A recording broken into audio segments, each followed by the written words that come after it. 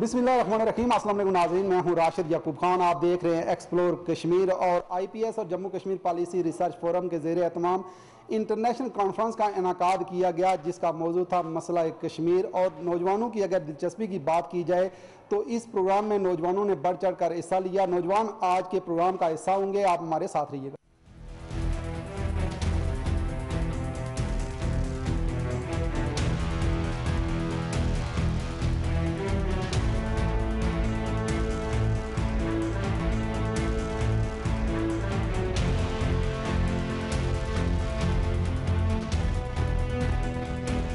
اقتدار نجیب الغفور ہمارے ساتھ موجود ہیں، ان سے بات کرتے ہیں۔ نجیب صاحب، آپ کیا سمجھتے ہیں کہ اس طرح کی کانفرنسز کتنی ضروری ہیں اور نوجوانوں کو کتنی آگاہی ملتی ہے؟ بنیادی طور پر پالیسی اینڈ ریسرچ فورم اور انسٹیٹیوٹ آف پالیسی اسٹڈیز کے زیر اہتمام جو یہ کانفرنس منعقد کی گئی، اس کا بنیادی مقصد یہی تھا کہ مقبوضہ کشمیر میں پیدا ہونے والی صورتحال اور مودی حکومت کی طرف سے کشمیریوں کے ساتھ جو ان کی خصوصی حیثیت کے خاتمے کے بعد جو انٹرنیشنل کمیونٹی کے اندر انٹرنیشنل جو ہمارے اسپیکرز تھے انٹرنیشنل اسکالرز تھے، ان کی رائے کو لے کر ہم انٹرنیشنل لیول پہ یہ پروپیگیٹ کریں کہ کشمیریوں کا اصل کیس کیا ہے اور کشمیریوں کا بنیادی مقصد کیا ہے۔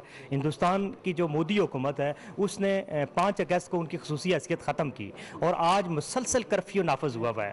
ایسی کانفرنسز کا بنیادی تھیم بھی یہی ہوتا ہے کہ جو ہماری یوتھ ہے، اس کو اس میں زیادہ سے زیادہ انوالو کیا جائے اور اس کو یہ بتایا جائے کہ یوتھ جو ہے، اس کا اس موقع پہ اسپیشلی کیا کردار ہے۔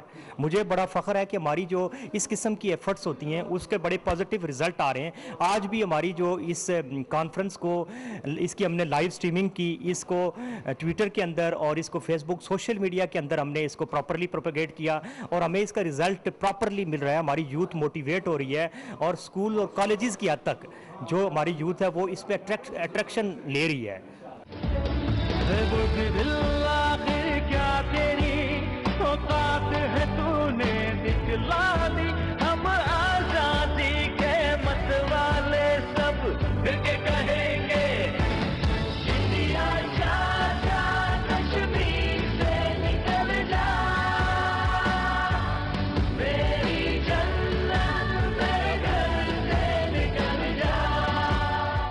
آپ کا میسج کیا ہوگا کشمیری عوام کے لیے؟ آج وہ کشمیر ہے محکوم و مجبور و فقیر۔ کل جسے ایران اہل نظر کہتے تھے ایران صغیر اس وقت آپ کہہ سکتے ہیں پاکستان چار جنگیں لڑ چکا ہے کشمیر کے لیے اور کشمیری ایک لاکھ سے زائد زائد قربانی دے چکے ہیں۔ اس وقت صرف یہی چیز ہے کہ کشمیریوں کو کہیں نہ کہیں اس چیز کی طرف لانا ہے کہ ہمیں جو نوجوان ہیں ان کو موٹیویٹ کرنا ہے۔ چاہے وہ جذبہ شہادت شوق ہو، چاہے وہ سوشل میڈیا کے تھرو کشمیر کے پیغام کو وائرل کیا جائے، یہ وہ چیز ہے جس کے ذریعے ہم کشمیر کو، اور ایک اور چیز کہ ہمیں کشمیر سٹڈی کو انٹروڈیوس کروانا پڑے گا۔ اگر کشمیر کی تحریک کو لانگ ٹرم زندہ رکھنا ہے تو میں کہتا ہوں جس طرح ہم پاک سٹڈی کی بات کرتے ہیں اس طرح کشمیر سٹڈی کو بھی انٹروڈیوس کیا جائے ہمارے بچوں کو پڑھایا جائے۔ بشیر عثمانی صاحب جو سینئر صحافی ہیں ان سے بات کرتے ہیں۔ عثمانی صاحب کیا دیکھ رہے ہیں؟ صورتحال جو کشمیر کی ہے آپ ایز اے صحافی کیا تجزیہ کریں گے کشمیر کے میں؟ یہ سمجھتا ہوں کہ اس وقت کشمیر انتہائی نازک ترین صورتحال سے دو چار ہے۔ اور جس طرح بھی پونے چار ماہ ہو چکے ہیں وہاں پہ کرفیو ہے۔ اور وہاں سارا ایک لاک ڈاؤن ہے۔ میڈیا پہ پابندی ہے، کوئی چیز وہاں سے باہر نہیں آ رہی، انسانی حقوق بری طرح پمال ہو رہے ہیں۔ پندرہ لاکھ جو پندرہ ہزار جو ہے وہ بچوں کو اٹھا لیا گیا، اس طرح پانچ ہزار بچیاں اٹھا دی گئی ہیں۔ تو میں یہ سمجھتا ہوں کہ یہ انسانی حقوق کا اس وقت مسئلہ ہے۔ کشمیر کے مسئلے کا حل تو ایک طرف رکھتے ہوئے عالمی برادری کو، ان کشمیریوں کے قتل عام کو رکوانے کے لیے اور جو بنیادی طور پر وہاں انسانی حقوق کی پامالی ہو رہی ہے، اس کو روکنے کے لیے اقدامات اٹھانے چاہیے۔ کشمیری نوجوانوں کو یہی پیغام دینا چاہتے ہیں کہ اپنی افواج کے ساتھ، بالکل کندھے کے ساتھ کندھا ملا کے کھڑے رہیں، جس طرح پہلے کھڑے رہیں اور ہم نے کشمیر کو آزاد کروایا۔ وہ ہماری ہی یوتھ تھی، ہمارے ہی لوگ تھے جنہوں نے یہ آزاد کروایا۔ اور پھر سے کوشش کر کے اپنے ان کشمیری بھائیوں کا ساتھ دیں، اس ٹائم ان کو ضرورت ہے ساتھ کی۔ تو ہم سب کو مل کے پاکستان سے اور بھی جتنے بھی کشمیری ہمارے جوان ہیں، ہمیں مل کے ایک دوسرے کا ساتھ دینا پڑے گا اور کشمیر کا مسئلے کو حل کرنا پڑے گا۔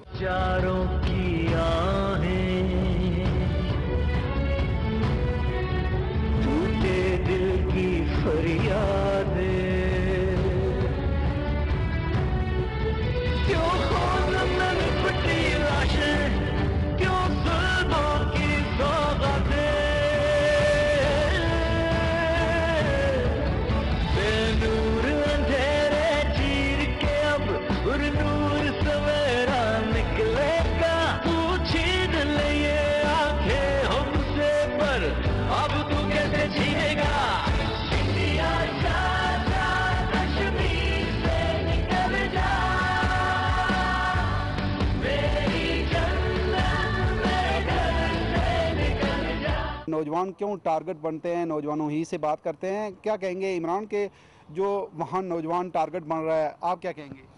بنیادی طور پہ چونکہ آپ پوری انڈیا کی جو اسٹریٹجی ہے اس کو سمجھ سکتے ہیں لیکن ان, کا جو ان کا جو نیکسٹ ٹارگٹ ہے وہ یوتھ کو ٹارگٹ کر رہے ہیں اسپیشلی جو کہ یوتھ کے اندر اس وقت جو ولولہ ہے برہان وانی کی شہادت کے بعد وہ آپ نے آخری لیول پہ ہے۔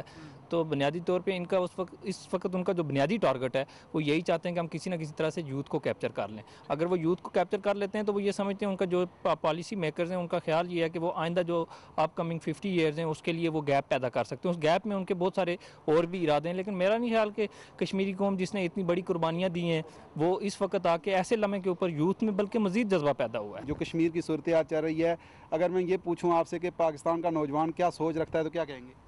ہمارے ہماری یہ سوچ ہے کہ کشمیر بہت زیادہ مشکل وقت سے گزر رہے ہیں۔ وہاں پر بہت زیادہ ان کے لیے حالات تنگ ہو چکے ہیں۔ وہاں پر وہ ایجوکیشن نہیں حاصل کر سکتے۔ عورتوں کی عزت محفوظ نہیں ہے وہاں پر۔ وہاں پر اپنی ریلیجس وہ ایکٹیویٹیز پریکٹس نہیں کر سکتے۔ اس طرح کے بہت زیادہ مشکلات ان کو وہ فیس کر رہے ہیں اس وقت کشمیر کی عوام۔ جی۔ بالکل صحیح ہے۔ لیکن آپ کی طرف سے پیغام کیا ہوگا کشمیری نوجوانوں کے لیے؟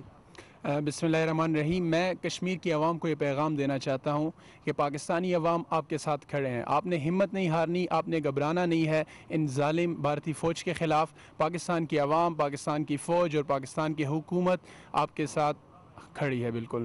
بالکل، پاکستان کی حکومت کشمیری نوجوانوں کے ساتھ کھڑی ہے، کشمیر ایشو کے ساتھ کھڑی ہے اور پاکستانی عوام کی یہ خواہش ہے کہ کشمیر جلد آزاد ہو کر پاکستان کا حصہ بنے۔ آپ کیا کہیں گے؟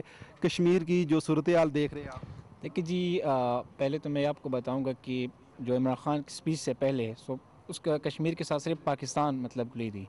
اب جو ہے نا اوورال مسلم اوورال مسلم یہ کہہ رہے کہ کشمیر کے ساتھ ہم آپ کے ساتھ ہے تو میں کشمیروں کو یہ بتا بتایا جا رہا ہوں کہ آپ لوگوں نے ہمت نہیں ہارنی ہے۔ بالکل انشاءاللہ ہم فتح کے قریب ہیں اور پوری مسلم ممالک آپ کے ساتھ ہے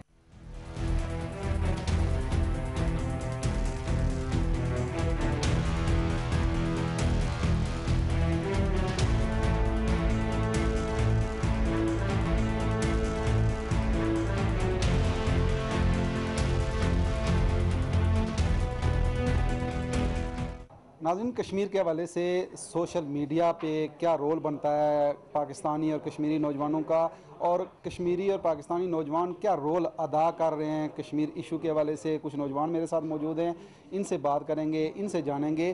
صرف سوشل میڈیا یہ ایک ایسا ویپن ہے کشمیری لوگوں کے پاس جو اس ظلم کو انٹرنیشنل لیول پہ پروموٹ کر سکتا ہے۔ کیونکہ ہمارے ساتھ جتنے بھی سوشل میڈیا ایکٹیوسٹ ہیں یہ لوگ آ, کیونکہ آ, انٹرنیشنل لیول پہ پروموٹ کر رہے ہیں۔ لیکن کیونکہ کشمیر کے اندر صرف ایک ہی ایسا سوشل میڈیا ایکٹیوسٹ تھا جس کا نام ہے برہان وانی جس نے مختلف ڈاکومنٹریز بنائی۔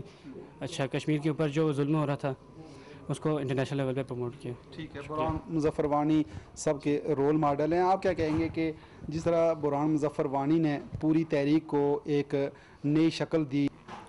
میں یہ کہنا چاہتا ہوں کہ ایک سوشل میڈیا ایک ویپن ہے کہ ہم پوری دنیا کو دکھا سکتے کہ کشمیر پہ کیا ہو رہا ہے کیا ظلم ہو رہا ہے ان پہ۔ اسی طرح ہم we are social activist and ہم ڈفرینٹ سوشل میڈیا کے ذریعے کشمیر کو پروموٹ کر رہے ہیں اور وہاں پہ جو ظلم اور بربریت ہو رہا ہے، ان کو ہم سوشل میڈیا کے ذریعے پورے دنیا کو دکھا رہے ہیں۔ We are from social media team اور ہم جو ہے سوشل میڈیا کے ذریعے لوگوں کو اویئر کر رہے ہیں اور ان کو ہم اور کشمیری کو، کشمیریز کو ہم سپورٹ کر رہے ہیں through different social media apps اور ہم جو ہے نا ہمارا میسیج یہی ہوتا ہے کہ ہم کشمیر میں سولیڈیریٹی کو پروموٹ کریں اور ان کو سپورٹ کریں۔ اور ہم یوتھ کو یہ میسیج دینا چاہتے ہیں کہ وہ کشمیریز کو سپورٹ کریں with the help of defence social media تو ہمارے ہی میسج ہے۔ اور لیٹس بی پازیٹیو انشاءاللہ کشمیر بنے گا۔ پاکستان۔ آصف صاحب کیا کہیں گے کہ جو کشمیر کی بگڑتی صورتحال ہے خطے کا جو امن ہے وہ خطرے میں ہے لیکن عالمی برادری آپ کیا سمجھتے ہیں کہ نوٹس لے رہی ہے۔ بڑی اچھی بات کی آپ نے، کشمیر کا ایشو ایسا ہے کہ جس پہ بہت سی پیشن کو یہی کی گئی کہ جب بھی تھرڈ ایٹامک وار ہوگی تو اسی خطے سے شروع ہوگی۔ چونکہ ہمارا دشمن ایسا ہے کہ جو منافق ہے چلاک ہے اور وقتی طور پہ اپنے فائدے اٹھانا چاہتا ہے۔ ابھی جو اس نے تھری سیونٹی کا حربہ استعمال کیا ہے، عالمی برادری نے ہمارا ساتھ نہیں دیا۔ کیونکہ ان کے اپنے انٹرسٹ ہیں، ان کے اپنے مقاصد ہیں۔ کشمیر کے حال سے ہمارا بچہ بچہ آج بھی اس قائد کے فرمان پہ قائم ہے۔ کہ پاکستان کی شہر کشمیر ہے۔ لکمان شاہ ہمارے ساتھ موجود ہیں ان سے بات کرتے ہیں۔ کیا کہتے ہیں کہ جس طرح کی صورتحال چل رہی ہے کشمیر کے اندر عالمی برادری آپ کیا سمجھتے ہیں کہ اس طریقے سے نوٹس لے رہی ہے؟ عالمی برادری سے تو نوٹس لینے کی امید بھی اب ختم ہو چکی ہے کیونکہ سو روز سے کراس کر چکی ہے کشمیریوں کی جد و جہد۔ وہاں پہ بھوک ہے اس وقت پیاس ہے۔ بغیر ادویات کے بیمار تڑپ رہے ہیں، اسپتال جانے کی انہیں اجازت نہیں۔ ایک بہت بڑی جیل ہے جہاں پہ اسی لاکھ سے زیادہ انسان قید ہیں۔ یہ انسانی، یہ خطے ایک ٹکڑے کی آزادی کی تحریک نہیں، ایک بہت بڑا انسانی المیہ جنم لے رہا ہے۔ جب آپ سوچیں کہ اسی لاکھ افراد کو آپ محصور کر دیں گے ایک جگہ وہ کسی کو اپنی بیماری کی اطلاع دینے کے قابل نہیں، کوئی فوت ہو جائے کسی کو اطلاع دینے کے قابل نہیں، تو عالمی ضمیر میرا خیال ہے مردہ ہو چکا ہے۔ اسے جھنجھوڑنے کی ضرورت نہیں، خود اسلامی ممالک کو اسٹیپ لینا ہوگا، اسلامی ممالک کو اکٹھا ہو کے اسی لاکھ سے زیادہ ان کشمیریوں کی مدد کے لیے آگے بڑھنا ہوگا۔ رایا خالد صاحب کیا کہتے ہیں کہ جو تحریک ہے وہ منطقی انجام تک، کیا آپ دیکھ رہے ہیں کہ پہنچنے کو نظر آ رہی ہے؟ جی بالکل۔ ہمیں جس طرح سے صبح سورج طلوع ہونے کا یقین ہے، اسی طرح سے ہمیں اس بات کا پوری طرح یقین ہے کہ یہ ہم آزادی کی منزل کی سحر انشاءاللہ طلوع ضرور ہوگی انشاءاللہ اور اس میں کوئی کسی قسم کا شبہ نہیں ہے اور نہ ہونا چاہیے۔ یہ ہمارے ایمان کا حصہ ہے اور اسی کے لیے ہم قربانیاں دے رہے ہیں ستر، بہتر، تہتر سال سے۔ اور کشمیری قوم اس کے حوالے سے بالکل یکسو ہے اور ہمارا ایمان ہے اور عقیدہ ہے کہ آزادی ہم، آزادی کی صبح ضرور طلوع ہوگی۔ جی ناظرین، سابق وزیر حکومت آزاد کشمیر فرزانہ یعقوب صاحبہ ہمارے ساتھ موجود ہیں۔ ان سے بات کرتے ہیں۔ کیا کہیں گی میم کہ جو کشمیر کے اندر خواتین کی اسمندری کا جو سلسلہ ہے، انہوں نے ویپن کے طور پہ اس کو استعمال کر رہے ہیں۔ بھارت جو ہے وہ ہمیشہ سے ہی ایسا کرتا رہا ہے کہ خواتین اور بچوں پر خصوصاً جو ہے اپنی توجہ رکھتا ہے ظلم اور ستم کی۔ بچوں پر بھی بیلٹس استعمال ہو رہے ہیں اور جو سیکشل ہراسمنٹ ہے اور ریپس ہیں وہ خواتین اور وہ کسی بھی عمر کی، چاہے وہ کتنی ہی بوڑھی ہو، چاہے وہ کتنی کم عمر ہو، اس کو استعمال کیا جاتا ہے۔ اور یہ کانفلکٹ ایریا کا سب سے بڑا جو سانحہ ہے وہ یہ ہے کہ مردوں کو قتل کر دیا جاتا ہے ان کے لیے گولی کام کرتی ہے۔ عورتوں کو جو ہے ریپ کیا جاتا ہے۔ اس کو بار بار جو ہے یہ اذیت دی جاتی ہے۔ تو عورت کانفلکٹ میں ایک دفعہ نہیں مرتی۔ مرد ایک دفعہ مرتا ہے۔ اور یہ ایک بہت ہی اذیت ناک جو ہے سچویشن ہے جس پر کہ دنیا خاموش ہے۔ عالمی برادری جو ہے اس کو اس کو اپنے اس کے اپنے عزائم ہوتے ہیں اس کے اپنے مقاصد ہوتے ہیں۔ جیسا کہ کہا جاتا ہے کہ عراق میں تیل تھا۔ تو کچھ بھی نہ ہوتے ہوئے تب بھی عالمی دنیا جو ہے وہ حرکت میں آ گئی تھی۔ اگر کشمیر میں کوئی ایسی مالی جو ہے کوئی چیز ہوتی تو یقیناً دنیا حرکت میں آتی۔ انسان کشمیریوں کی کبھی اس دنیا میں کوئی وقت رہی ہے؟ مطلب یعنی کہ سب سے زیادہ دنیا میں ہیویلی ملیٹرائزڈ زون ہے اور تب بھی کوئی فرق نہیں پڑ رہا۔ یہاں پر کتنے ہی لوگ مر چکے ہیں کتنی ہی عورتوں کے ساتھ ظلم اور ستم ہو چکا ہے۔ ہاف ویڈوز کہیں پر نہیں ہے علاوہ کشمیر کے پھر بھی دنیا کو کوئی فرق نہیں پڑتا۔ تو کیا کیا جائے؟ جو وہ چیخیں مار رہے ہیں اس کے علاوہ آپ دیکھیں گے انڈیا کے اندر سے آوازیں آپ یقین یقیناً وہاں کی سول سوسائٹی جو ہے وہ کافی ایکٹیو ہے۔ اور سب سے پہلے جو خبریں وہاں سے لائی گئی ہیں وہ وہاں کی انڈین سول سوسائٹی وہاں پر گئے، وہاں پر خواتین کے گروپس گئی اور انہوں نے آ کر بتایا کہ ہمارے بچوں تک کو اغوا کیا جا رہا ہے کیونکہ کمیونیکیشن تو بلاکڈ ہے۔ ہمیں تو کوئی خبر نہیں مل رہی تھی۔ انہوں نے آ کر، تو وہ وہ ہمارا جو ہے وہ ایک ایک ایسا ایک انٹرسٹ گروپ ہے جو کہ ہمارے کہے بغیر Kashmiri they did not reach out لیکن پھر بھی ان کا ساتھ دے رہے ہیں۔ وہ اس وقت ہماری آواز بنے ہوئے ہیں۔ لیکن اس آواز کا ہمیں کیا فائدہ ہو رہا ہے جب کوئی ہماری مدد کو نہیں آ رہا تو کیا فائدہ ہو رہا ہے؟ اور پریشانی میں کسی قسم کی کمی نہیں آ رہی۔ لیکن آپ کی اپیل پھر کیا ہے اس صورتحال کے تناظر میں؟ اپیل یہی ہے کہ خدا را اس ظلم کو روکے اگر آج آپ نہیں روکیں گے تو یہ جتنے بھی قتل و غارت ہے یہ جتنا بھی ظلم و ستم ہے یہ سب کے آپ ذمہ دار ہیں یہ دنیا ذمہ دار ہے۔ یہ ساری جو عالمی قوتیں ہیں یہ یو این یہ او آئی سی جو سب سب ہے یہ۔ یہ پھر ڈرامہ ہوگا۔ یہ بالکل اس کی کوئی کریڈیبلٹی ہماری نظروں میں نہیں رہے گی۔ کیا کشمیر، کیا فلسطین۔ اگر ہمارے خون پر ہی سب لوگوں نے جو ہے ٹھیکیدار بننا ہے اور مالک بننا ہے، تو پھر وہ کسی کام کے نہیں۔ چاروں کی آہیں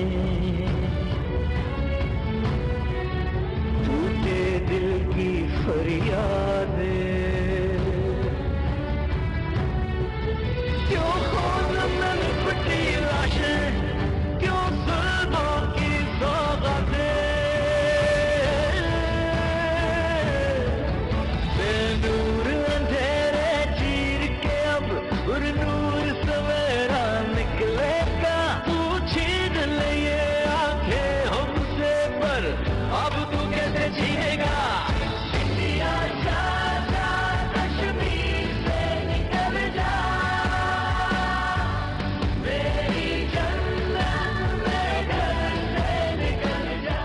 ناظرین، مقبوضہ وادی جو جیل میں تبدیل ہو چکی ہے اور وہاں سے جو خبریں ہیں وہ اس طریقے سے نہیں آ رہی۔ انٹرنیٹ بند ہے، فون سروس بند ہے اور جو تعلیمی ادارے ہیں وہ بند ہیں۔ غلام محمد صفی صاحب جو عریت لیڈر ہیں، ان سے جانیں گے کہ وہاں مقبوضہ کشمیر کی جو تازہ ترین صورتحال ہے، ان کے پاس کیا خبریں ہیں؟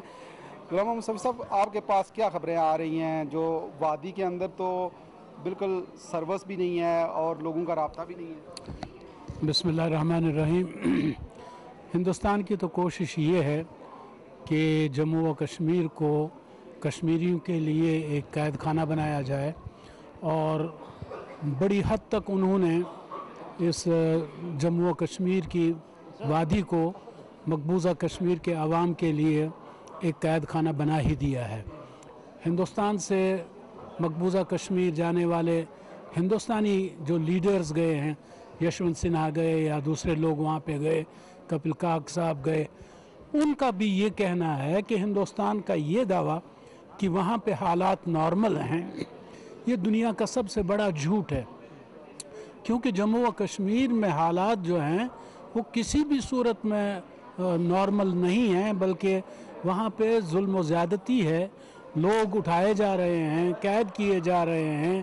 لوگوں کو شہید کیا جا رہا ہے، زخمی کیا جا رہا ہے۔ پیلٹ گنز اب اب بھی وہاں پہ چل چلتے ہیں۔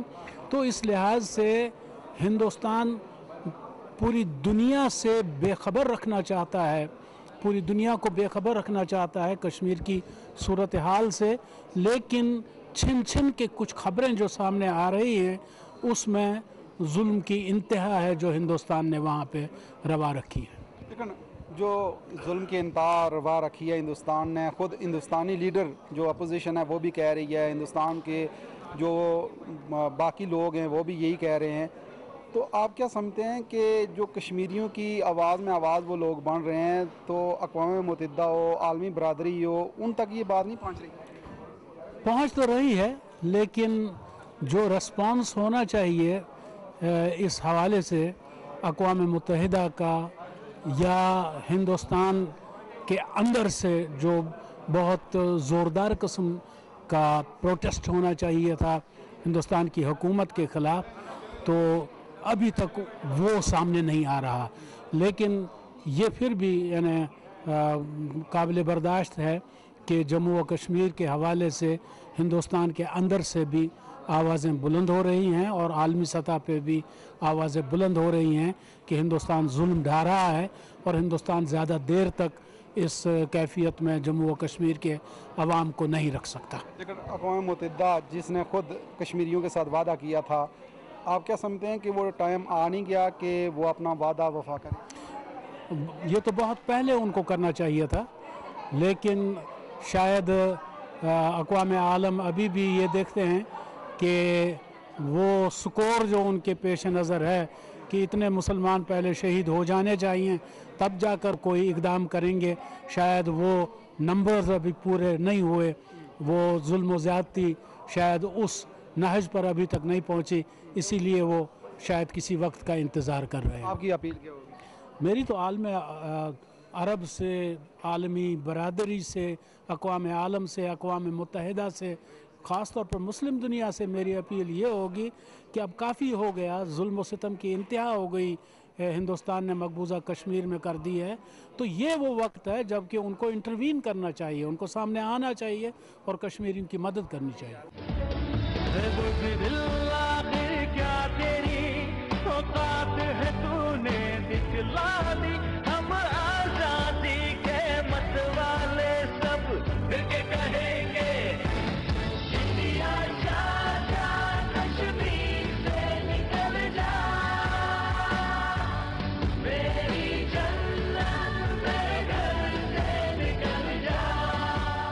تو شیترا بھی سب آپ نے مختلف ممالک کا دورہ بھی کیا ہے۔ اب کیا سمجھتے ہیں کہ اب کیا سوچ ڈیولپ ہوئی ہے؟ دیکھیے، میں پچھلے کوئی ڈیڑھ دو مہینے میں ملائیشیا، ترکی اور پھر برطانیہ مختلف انٹرنیشنل کانفرنسز میں گیا۔ پارلیمنٹس کے اندر بھی کانفرنسز ہوئیں، وہاں کی لیڈرشپ سے ملاقات ہوئی۔ میڈیا اور انسانی حقوق کی تنظیموں سے انٹریکشن ہوا۔ تو اللہ کا شکر ہے کہ ساری دنیا میں اس وقت جو ہندوستان کا موقف ہے اس کو تو ریجیکٹ کیا جا رہا ہے۔ اس کی مذمت کی جا رہی ہے۔ اور ایسے ایسے تھنک ٹینکس اور ذرائع ابلاغ اور ایسے اخبارات خاص طور پر یورپ کے اندر اور امریکہ میں جو ایک سطری خبر کبھی ہماری نہیں دیتے تھے۔ آج وہاں پر مسلسل مضامین چھپ رہے ہیں اداریہ آ رہے ہیں اور کشمیر کے حوالے سے ایک بھرپور کوریج موجود ہے۔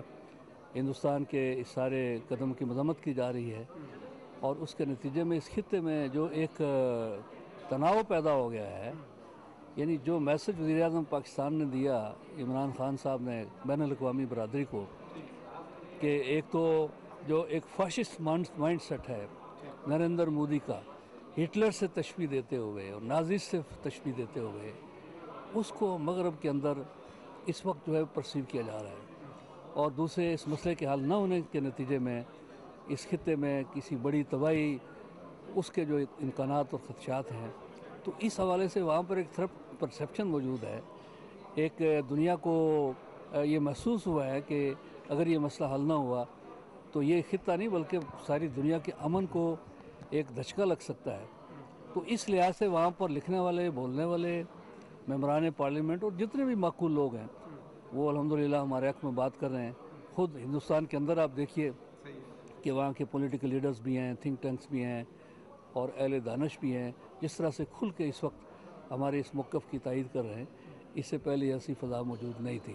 اس فضا سے اب فائدہ اٹھانے کی ضرورت ہے۔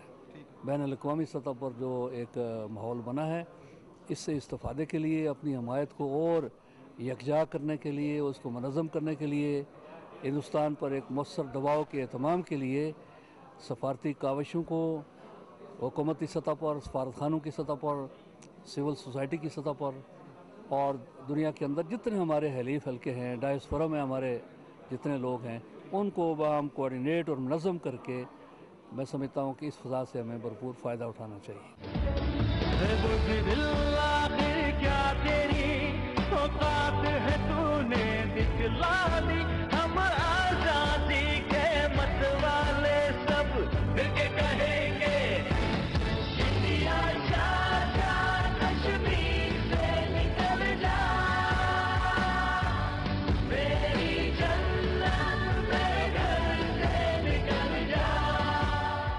ناظرین، منصور قادر ڈار صاحب ہمارے ساتھ موجود ہیں۔ ان سے بات کرتے ہیں۔ منصور قادر صاحب چونکہ آپ گورنمنٹ کا حصہ ہیں، آزاد کشمیر گورنمنٹ کا، آپ کیا کہتے ہیں کہ کیا رول ادا کر رہی ہے آزاد کشمیر حکومت بین الاقوامی سطح پہ؟ جس طریقے سے آپ لوگ اجاگر کر رہے ہیں اس ایشو کو۔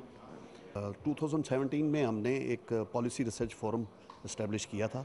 اور اسی پالیسی ریسرچ فورم جو کہ ایک تھنک ٹینک ہے، تمام پی ایچ ڈی لوگ اس کے اندر ہیں، اس کا چیئرمین ہے پراپر وہ ہم بہت ساری ایکٹیویٹیز کر رہے ہیں اور this activity is one of them تو یہ جیسا کہ آپ نے کہا کشمیر ایشو کو کس طرح سے ہم نے کوشش کر رہے ہیں کہ اس کو کسی طرح سے الائیو رکھیں اور اس کو اس کی جو ہیومن رائٹس وائلیشن ہیں اور آفٹر یہ جو post fifth of August two thousand nineteen کی جو سنیریو ہے کشمیر کا، اس کو زیادہ سے زیادہ ہم ہائی لائٹ کر سکیں اور جو انڈین جو ایٹروسٹیز اس وقت وہاں پر ہو رہی ہیں ہیومن رائٹ وائلیشن اس کو کسی طرح سے پوری دنیا میں ہم اس کو اجاگر کر سکیں۔ تو اس سلسلے میں اے جے کے گورنمنٹ جو ہے، جموں کشمیر لبریشن سیل اور اس کا جو ادارہ ہے policy research forum we are making so many activities جیسا کہ ہم نے پچھلے سال میں تقریباً بیس سیمینار کروائے ہیں، دس ہم نے ورک شاپس کروائی ہیں۔ پھر ہم نے ہمارا انٹرنیشنل ریسرچ جرنل جو ہے وہ دو اس کے والیوم وہ تقریباً وہ پبلش ہو چکے ہیں، تیسرا والیوم پرنٹنگ میں ہے۔ اب یہ اس کی ہم نے جرمنی میں I S S N number جو ہوتا ہے رجسٹریشن وہ کروا لی ہے۔ اور اسی طرح منتھلی ٹوڈے ہم کر رہے ہیں۔ کہنے کا مقصد یہ ہے کہ بہت ساری ایسی ایکٹیویٹیز ہیں جو ہم ریگولرلی اور کنسسٹنٹلی کر رہے ہیں تاکہ یہ جو کشمیر ایشو ہے، اس کو زیادہ سے زیادہ اجاگر کریں اور اس کو الائیو رکھ سکیں۔ تو اسی کی ایک کڑی ہے اور اسی کے کنٹینیوٹی میں ہم اسی جو سپیکرز آئے ہوئے ہیں، بارہ تیرہ سپیکر جو آپ نے دیکھے ہیں آج جن میں چھ فارنرز بھی ہیں ترکی سے، افغانستان سے اور امریکہ سے، یو ایس اے سے، یہ سارے لوگ ہم مظفر آباد لے کے جا رہے ہیں۔ ان کو ہم نے یہی دیکھا ہے کہ اب اکیڈمیشن کو جو ہے نا، وہ آگے آنا پڑے گا اسکالرس کو، دانشوروں کو، تاکہ جو پالیسی ساز ادارے ہیں یا پالیسی میکرز ہیں، ان کو، ان کی مدد سے کوئی مدد مل سکے کہ how we can make this policy in this imperative of the latest scenario جو اس وقت کشمیر میں ہے کہ اس وقت اب وہ پرانی پالیسی نہیں چلے گی۔ اب وہ بہت کچھ چینج ہو گیا اب ففتھ اگست کے بعد۔ تو اسی سلسلے کی یہ کڑی ہے۔ انشاءاللہ ایک انٹرنیشنل کانفرنس ہے۔ پھر ہمارا ایک ارادہ ہے ہمارے پرائم منسٹر صاحب کا کہ ان اسی کی کنٹینیوٹی میں ہم جا کر ایک باہر لنڈن میں یا کسی ایسی جگہ پر یہ والا جو ہے ایک کانفرنس کریں۔ تاکہ لوگوں کو زیادہ سے زیادہ اس کو الائیو رکھ سکیں۔ جی ہاں، ناظرین پروگرام آپ نے دیکھا اور عالمی برادری اور اقوام متحدہ کو آپ کردار ادا کرنا چاہیے کہ مسئلہ کشمیر کے حل کے لیے سنجیدہ کوشش کریں۔ اسی کے ساتھ ہی راشد یعقوب خان کو دیجیے اجازت۔ اللہ نے کرے